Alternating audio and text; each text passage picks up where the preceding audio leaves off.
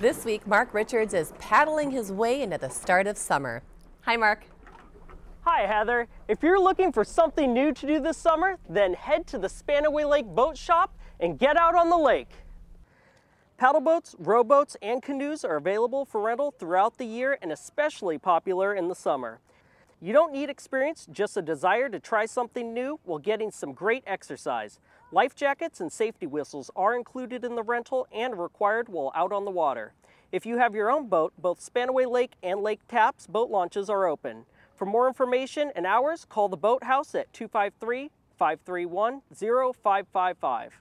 As the temperatures continue to rise, more people are visiting Spanaway Lake and Lake Tapps Park for some great water activities.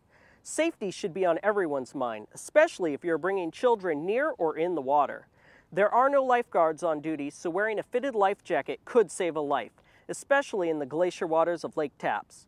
If you're headed out onto a lake, a boater's license is required under state law for anyone under 59 years old operating a powerboat or personal watercraft over 15 horsepower. For more information on boater's licenses, visit Washington State Parks website. There's nothing better than fresh air and exercise, so get off your beach towel and get into a boat. I'm Mark Richards for Pierce County News. Back to you, Heather. Looks nice out there. Thanks, Mark.